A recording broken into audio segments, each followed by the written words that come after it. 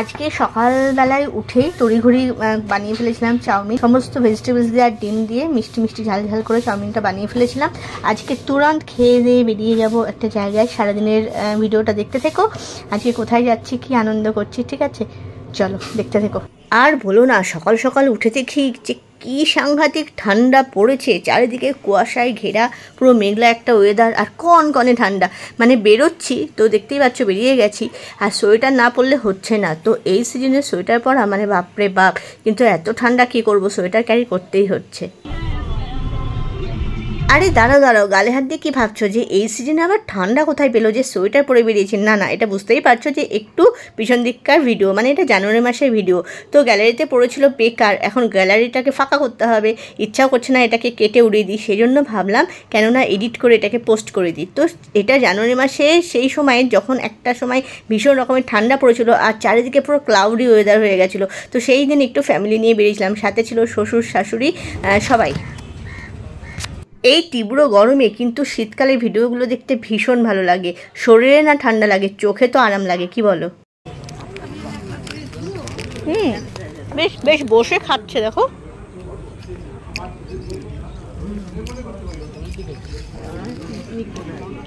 শীতকাল মানেই কিন্তু ভরপুর আনন্দ করো, ভরপুর খাও, শরীরের কোনো কষ্ট নেই। তো সেই জন্যই ঠান্ডা পড়তে, শ্বশুর, শাশুড়ি, বর বাচ্চা কাচ্চা নিয়ে সবাইকে নিয়ে বেরিয়েছিলাম কোথায় গেছিলাম? সবটাই বলব। থাকো সাথে। খাওয়ার ব্যবস্থাটা খুব সুন্দর তো। হুম ভালো তো। এখানে পিকনিক করতে দেয় ও এইটা ঢোকার জায়গা। আরে টিকিটের কাউন্টারে লোক নেই। ওই ই বাবা কি বড় বড় পেঁপে। দেখো। এই গোল গোল ডাবের মতো পেঁপে। এরকম ডাবের মতো আবার পেঁপে হয় নাকি? আজকে ফার্স্ট টাইম দেখছি। ওই পাশেরটা শেপটা ঠিক আছে। ওই পাশেরটা শেপটা ঠিক আছে। ভর্তি পেঁপে গাছ এইটুকু টুকু গাছ এখানে লেক আছে এখানে বোটিং করা হয়। এখানে গাঁদা ফুলের চাষ করেছে। সুন্দর সুন্দর করে করছে।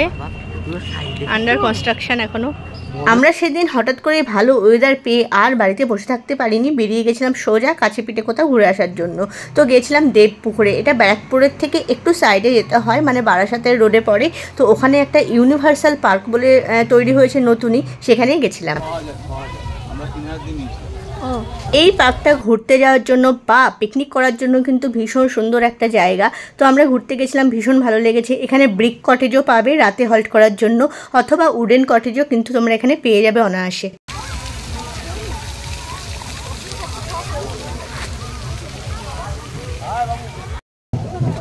রিয়ানটা চড়তে পারতো। চলো, ভালো করে ধরে থাকবে তো? সামনে বসে আমাকে একজন চয় না পা পায়ে হচ্ছে না ওই যে দাঁড়িয়ে গেছে। হ্যাঁ? পড়ে যাবে না তোমার ভয় লাগছে। পায়ে হচ্ছে না পায়ে আটকে গেছে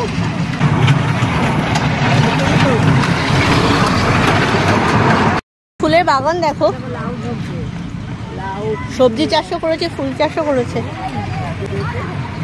কি দারুণ লাগছে। ওইখানে না একটা মনে হচ্ছে ওই উডেন কটেজ টাইপের হচ্ছে। দেখেছ? সিঁড়ি দিয়ে দুপাল দিয়ে ওঠার জায়গা। ভালো লাগছে বেশ। এখানে লাইট টাইট জ্বলার পর মনে আরও সুন্দর লাগবে। এ দেখো এগুলো এগুলো কি?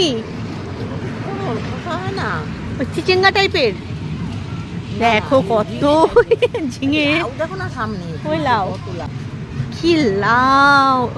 এটা মাথায় পড়বে যেতে গেলে। দাঁড়াও দাঁড়াও দাঁড়াও। কি ভালো লাগছে। ফুলের মধ্যে তো অনেক ঘুরি কিন্তু সবজির মধ্যে ঘোরাটাও একটা অন্যরকম এক্সপেরিমেন্ট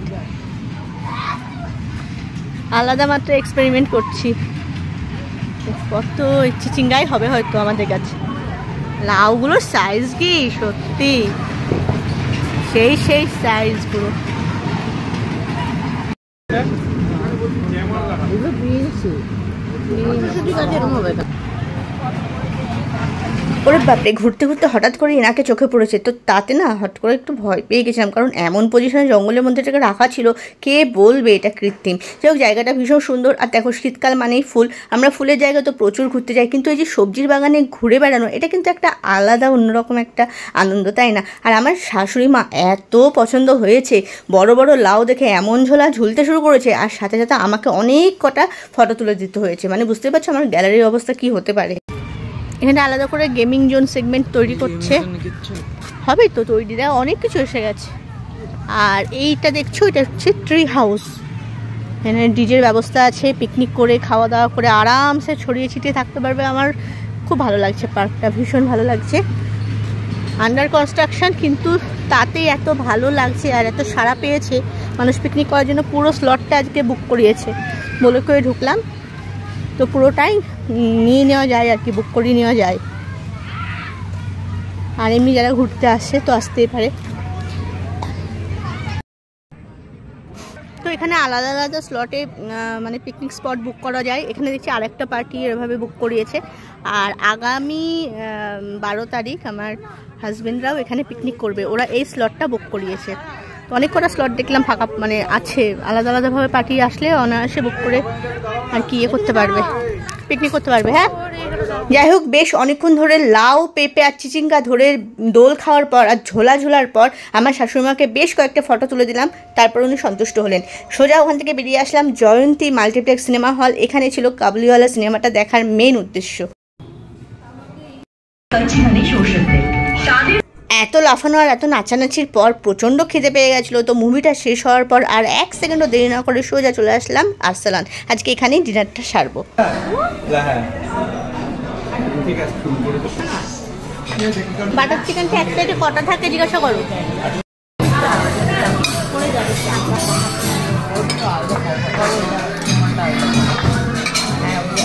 প্লেটটা প্লেটটা পাস করো। আমারটাও। তুমি হাত দিয়ে খাও না।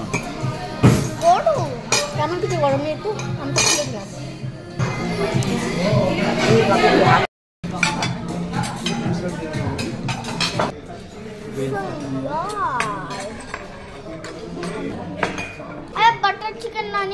অর্ডারে ছিল বেশ অনেক রকমের খাবার, কারণ সবাই পছন্দের মতো করেই নিয়েছিল।